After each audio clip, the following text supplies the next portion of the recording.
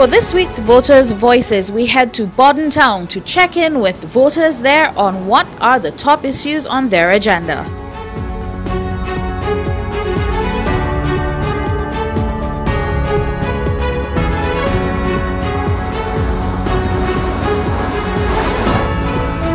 catching up with Rob McLaughlin here from Bodden Town about the issues that's impacting him in his community. First of all, um, one of the major issues that affect us from the eastern districts, even though I don't live that far, Bodden Towns still has a major traffic issue.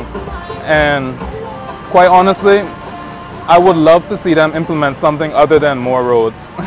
there has to be some other solution other than paving more roads because it isn't a solution, it's kind of a, a band-aid. And it's a rather, rather weak band-aid as well because it doesn't really help the situation. And along from, other than the, the traffic issue, we also have a huge issue with our actual connection. Not only is there a internet problem, we also have a connection problem in terms of cell signal.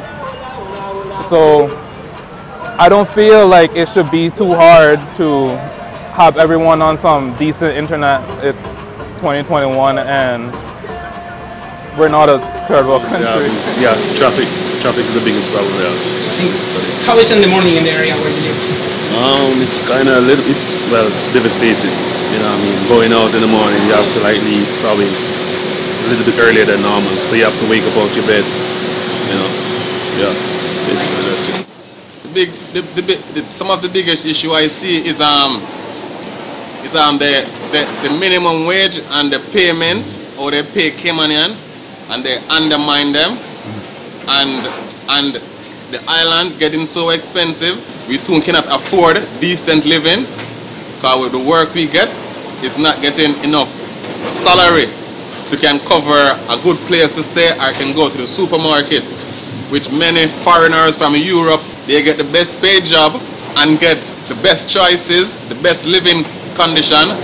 And Caymanian and people like me who have, um, who, have, who have children here as Caymanian, not getting those privileges. And it is really saddening to see that my son is going to grow up in a place where he's from and not entitled to get properly paid. And Europeans, American, Englands come here and get better paid and, and also the country more stigmatized in their favor.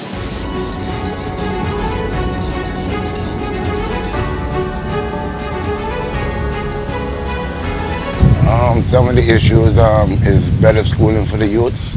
Um, you have a big problem with traffic going on in the morning, and um, like communicating better with, with the public, with um, the actual people in your community.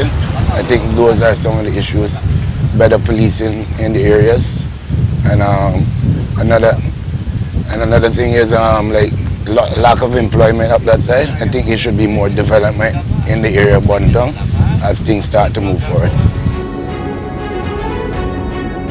We also headed over to the sister islands to find out what voters on Cayman Brac and Little Cayman have to say about the issues that matter to them.